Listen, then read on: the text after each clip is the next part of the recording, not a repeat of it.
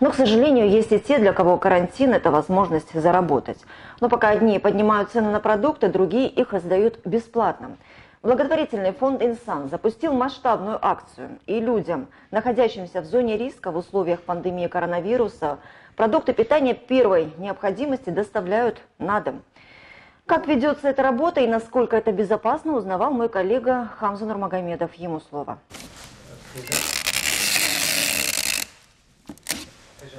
Расфасовка продуктов начинается на складе. Помогают фонду в этом храбрые волонтеры. Несмотря на опасность подхватить в городе вирус, они пришли на помощь нуждающимся. У благотворительного фонда «Инсан» много подопечных, которые на самом деле не могут себе позволить эти продукты закупиться. И я решил, что от меня будет польза в этом, да, что поддержать этих людей в такой трудный период, это очень важно. И э, решил помочь. Чувствую себя хорошо и поэтому буду помогать дальше. Добровольцы приступают к работе, продезинфицировав руки, надев защитные перчатки и изолирующие маски.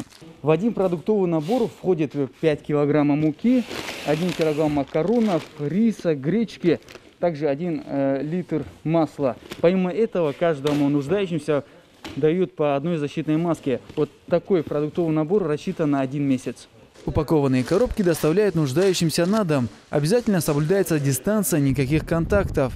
Мы постели пожилую женщину, она отдала народному образованию 51 год. Теперь живет одна и едва сводит концы с концами. Спасибо вам, Кабул Садака. Дай Бог здоровья всем-всем. Все, чтобы не заболели. Всему миру.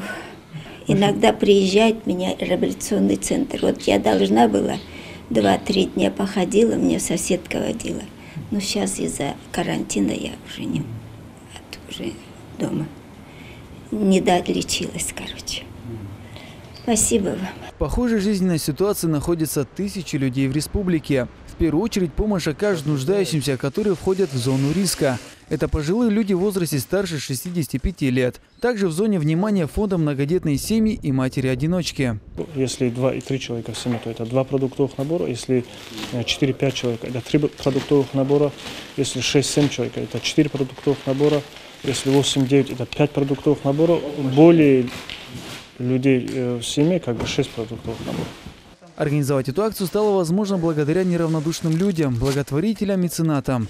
Один продуктовый набор в среднем стоит 450 рублей. Для тех, кто также желает нести свою лепту в это доброе дело, открыт сбор средств. Хамза Нурмагомедов, Магомед Магомедов, Мурат Бигбарцев, телеканал НТ, Махачкала. Если вам не хватает еды и вы не можете выйти из дома, чтобы ее приобрести, э, если нет средств или не позволяет здоровье, позвоните по номеру горячей линии 8 800 600 09 91. Благотворительный фонд «Инсан» окажет вам помощь, привезет прямо на дом все продукты первой необходимости.